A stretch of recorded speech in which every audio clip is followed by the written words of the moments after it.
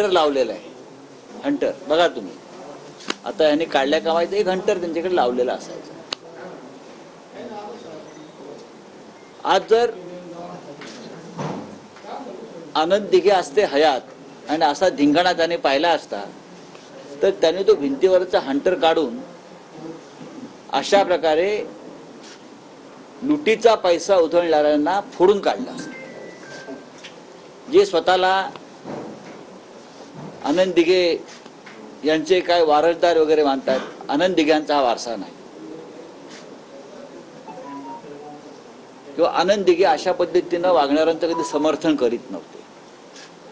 कुठून आला पैसा हा? ज्या पद्धतीनं बारमध्ये पैसे उधळतात त्या पद्धतीने ते पैसे उधळतात. बघा तुम्ही. आपण ते ते नीट पाहिलं या राज्याच्या संस्कृतीला कलंकित करण्याचं काम जे म्हणतो की हे सरकार करत आहे पण त्यांनी ज्यांना ते गुरु मानतात असं म्हणतात त्या गुरुलाही सोडलं नाही.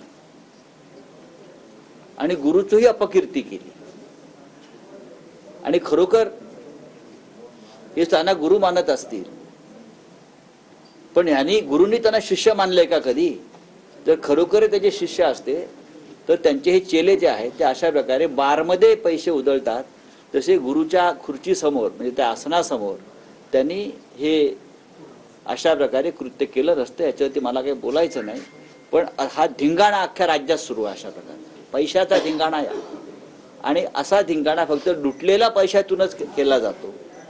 कष्टाच्या पैशातून अशा प्रकारे प्रत्येक ठिकाणी सार्वजनिक ठिकाणी धार्मिक ठिकाणी पवित्र ठिकाणी असे पैसे उडवले जात नाहीत.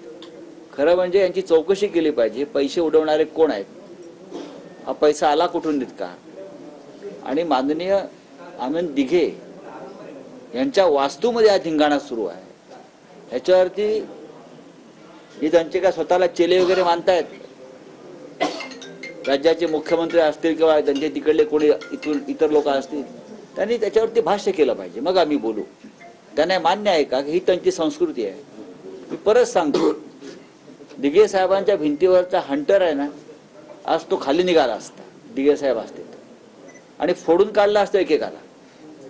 राऊत साहेब अजित पवारांनी निवडणूक आयोगाचे नियम डावलून खेडमध्ये पुण्यामध्ये निवडणूक प्रचार ईव्हीएम प्रचार रथाचा शुभारंभ केलेला आहे आणि या प्रकरणी आता